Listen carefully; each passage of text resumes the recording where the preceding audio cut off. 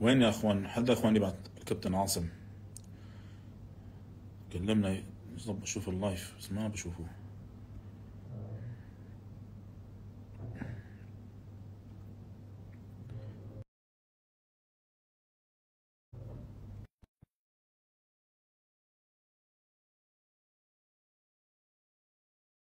والله يا إخوان ف- داخلين بس نجرب كنا ال live ما شاء الله في أسئلة وتفاعل لأن أنا حابب ألعب بطولات وأطور أقدر أمشي TRT بعد ما أخلص ال cycle أو البطولة وكل سنة مثلا أسوي PCT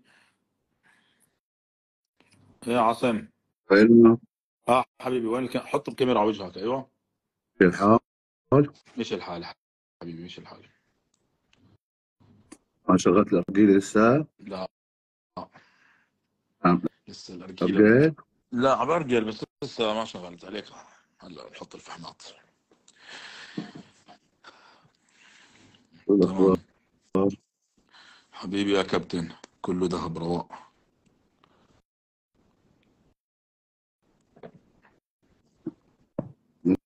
نحكي بموضوع المدربين اللي بيفشلوا مع اللاعبين. تفضل. شو السبب؟ شو السبب المدرب بيفشل مع اللاعب؟ أو اللاعب في عدة ببطل. من الم... في عدة أسباب. ممكن يكون في الحق على المدرب ممكن يكون الحق على اللاعب. طيب. بالنسبة لك مثلا اللاعب وقت اللي بده يتركك أنت شو. بتكون أسبابه؟ هلأ هذا أسباب. هلأ ممكن المدرب في عدة أسباب. ممكن يكون تقصير مني أنا. تأخر عليه مثلا بالرد وقت الاشتراك ممكن بعض اللاعبين آه، ما يزعل ما يخلص اشتراكه وما يكمل. آه، ممكن ما يحصل النتيجة اللي بده إياها مني. منهم آه، ممكن يكون الخلل من اللاعب نفسه ما في التزام. أنا أقول له والله معك ما ادي إياك على السلام ففي دائما حوارين. في جانب ممكن يتحمله المدرب وفي جانب ممكن يتحمله اللاعب. حلو. هلا أنا عندي وجهة نظر ثانية للموضوع. إيه تفضل. مين هذا المنياك هذا موسى موسى. أنت ما يا خليفة. إيه مش بخالتك يا كلب. قصف يا موسى قصفك. إيه، هاي خليفة. أنت ماهر ما في منك يا صاحبي.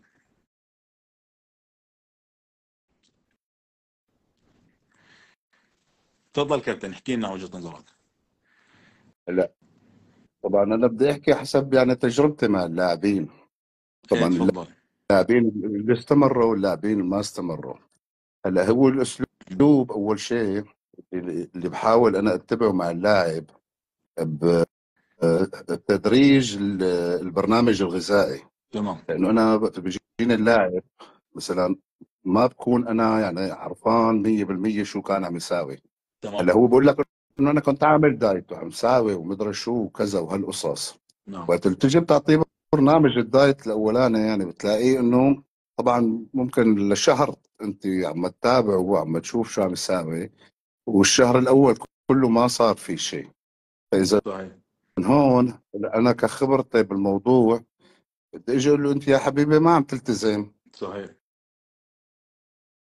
شايف كيف؟ وهلا هو اجمالا يعني 80 90% احتمال ينكر ويقول لك لأ أنا ملتزم. لا طيب هلأ في كثير لعيبة ما بتكون ملتزمة 100% بقول لك أنا ملتزم. ها ها طيب أنا شو لازم ساوي. طريقة؟ شماعة يرمي شماعة الإخفاق شماعة التقصير على. ظهر المدرب. ماشي. نحن لنفرض تقبلنا هالحكي. بس نحن قبل ما نتابع ونرد نكون نحن عم نوقع بنفس الغلط كل شهر. بلاقي الأحسن أنا إنه بسط له البرنامج المبدئي كثير تمام. يعني مثلا آخذ فكرة أنت شو بتشتهي؟ أنت شو بتاكل؟ أنت وقت اللي بتجوع أول شغلة بتفكر فيها شو بتفكر فيها؟ شو عم تطلب من المطاعم؟ شو كذا؟ هاي بحطها أساسيات أنا عندي على أساس إنه شوي شوي أقدر خلصه منها. تمام لأنه هو هو ما راح يقدر يخلص منها بيوم وليلة ويقول لك أنا خلص هدول تركتهم كلهم وراح أبلش بالدايت النظامي بكرة. صحيح. فإذا بلاقي الأسلوب التدريجي اللي هو إنك تخلصه من كل شغلة تدريجيا لحتى يعرف هو إنه بده يبلش يفرق بعد ما بيخلص. أنا باكل برجر كل مره مرتين بالأسبوع كذا. إيه لا خليها مرة. ماشي. خلي البرجر مثلا بخبز أسمر. هاي شغله شغله خلي بدون الجبنة مثلا بقلبها أو شيء. هاي مرحلة يعني من المراحل. تمام. وقت اللي بدنا نوصل إنه نحن اليوم بدنا نعمل البرنامج ونحاول نمشي عليه. بس صحيح أنت بدك تقول لي إنه أنا شو اللي ما بده يعجبك بالأكل؟ أنت شو بتحب أول شيء؟ اللحمة بتحب الدجاج بتحب السمك؟ شو أشياء بتفضلهم؟ بتحب البيض؟ أعطيني الأفضلية اللي بتلاقيها سلسة وبتقدر تاكلها أنت بالنهار مرتين مثلا. تمام. ممكن هو يفضل الدجاج ممكن يفضل السمك ممكن يفضل البيض. بدي أشوف الشغلة اللي بفضلها هو بحط له إياها مرتين باليوم. وما تبقى ممكن مرة مرة. هلأ طبعا نحن أول شيء يعني ما ما أكثر من أربع وجبات رح يكون باليوم لأنه هذا الشيء رح يكون كثير عليه. يعني أربع وجبات حتى الأربع وجبات نسبة البروتين فيهم خفيفة ونسبة الكربوهيدرات فيهم خفيفة. لحد ما يفوت نخليهم على بالجو الخفيف إيه لحتى ياكل ويضل جوعان ويتقبل الوجبة اللي بعدها لأنه إذا ما في جوع بالموضوع قابليه ما راح يكون في لأنه ياكل الوجبات الثانية. صحيح. طبعا هو بننصحه يعني بطريقة مثلا الطبخ كيف شلون أو طريقة تجهيز الأكل شلون. أو اللهم إذا بده هو يشتري من مطاعم الأكل الدايت أو شيء كمان هذا بنكون مرتبين له نحن النظام. نعم.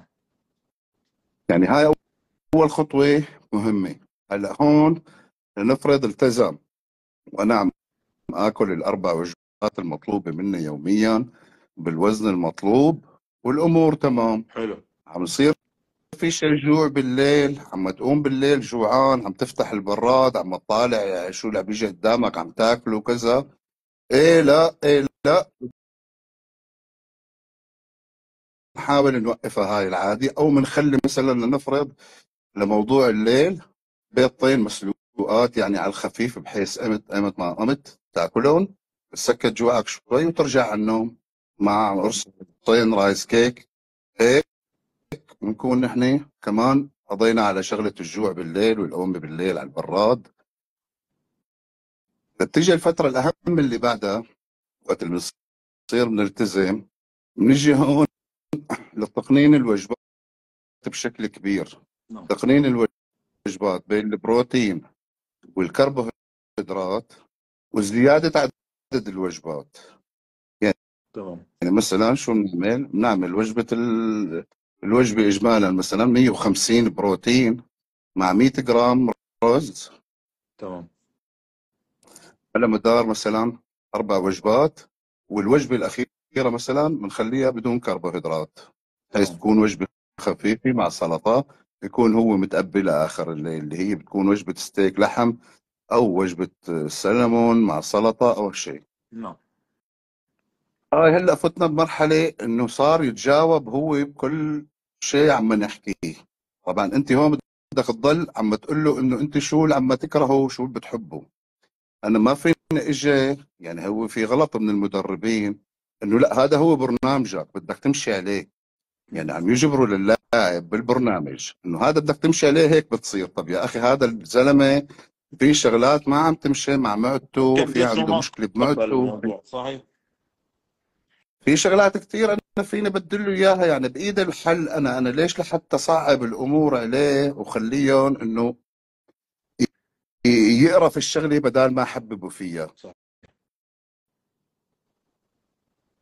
بقى هاي النقطة أنا بنطلق منها لوجبات الخفيفة نعم. اللي وزنها خفيف بين بروتين. طبعا نحن هلأ هون لسه ما عم نحكي إنه نحن وصلنا لحد البروتين اللازم اللي بدنا ندخله باليوم.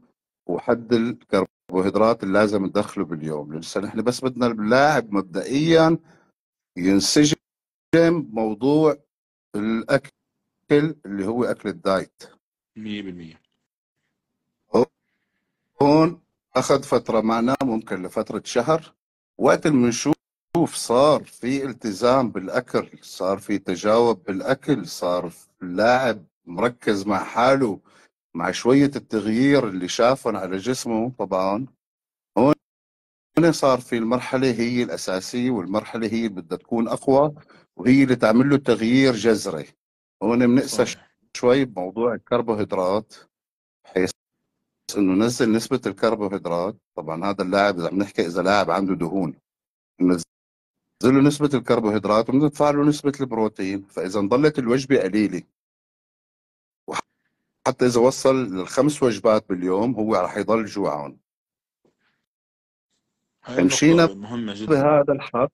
اي هلأ هون اللاعب إذا ما كان مستوعب شو يصير أول شغلة بده يصير يشتكي منها إنه أنا حاسس جسمي عم يتعب كثير وجسمي عم يسلت صحيح.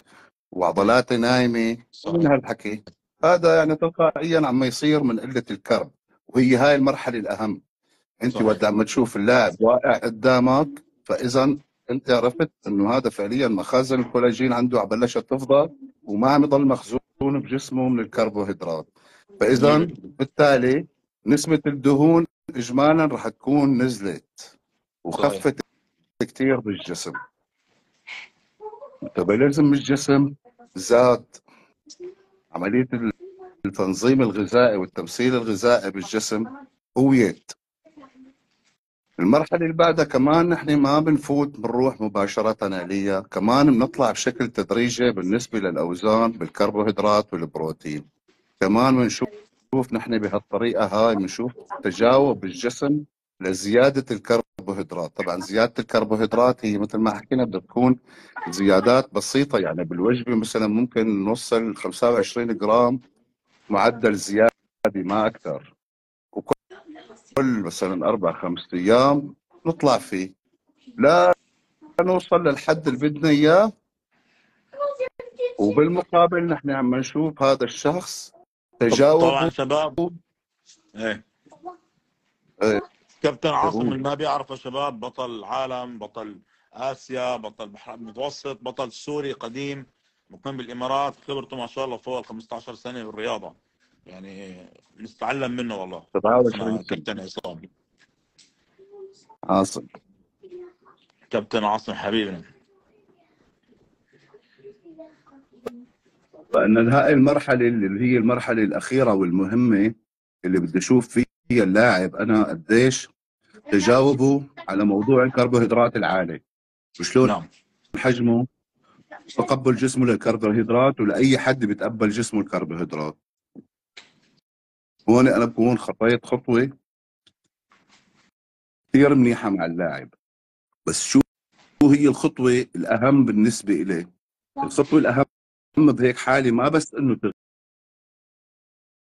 تغيير اللاعب إنه كتغيير جسمه من برا. تغيير اللاعب كعقلية كنفسية. إنه أنا دخلت. نعم؟ العقلية بتتغير ما هي هاي العقلية وقت بده بده هو يتقبل كلامك ويكون واثق من كلامك وعلى أساس كلامك حس هو بالنتيجة فإذا رح تلاقي إنه خلص هذا رح يلتزم معك بعد شو ما قلت له خلص ما عاد يخبص لأنه شاف حاله وقت اللي التزم وصل لنتيجة كثير حلوة. فإذا أنا هاي أول خطوة ممكن أنا أرتاح نفسيا كمدرب وقت اللي بدي أشوف اللاعب عم يشتغل ومقتنع باللي عم يشتغل فيه. 100% لأنه إذا ما اقتنع هو وما فهم شو عم يصير يعني هو بده يفهم شو عم يصير بجسمه وقت اللي كنا منزلين الكرب شو صار وقت اللي رفعنا الكرب شو صار. يعني نحن ليش نزلنا الكرب وليش رفعنا الكرب وهو تلقائيا بده يتكون عنده الفكرة بصير إنه حتى لو معه مدرب أو ما معه مدرب ايمت لازم ينزل الكرب وايمت لازم يرفع الكرب فإذا هو اكتسب خبرة لنفسه أكثر من أنه يضل مقيد بمدرب كل عمره يعني. 100 100 اوراد فهذا الشيء نحن بنشوفه تفضل. بنشوفه اليوم أنا بدي أسكر أبو راضي هلا. فخلينا بكرة. شباب بكرة الجمعة. بكرة نطلع أنا وأبو راضي بنكون لايف إن شاء الله. حضروا أسئلة شو عندكم مواضيع وبلش كل يوم نطلع نحكي مواضيع. تمام تمام. تمام. تمام يا أبو راضي حبيب قلبي. تمام. شباب يعطيكم ألف عافية. اعملوا متابعة للكابتن عاصم وتابعوا محتوى. تمام يا إخواني؟ إن شاء الله بنضل على التواصل. يلا السلام عليكم. السلام عليكم. تصبحوا على خير.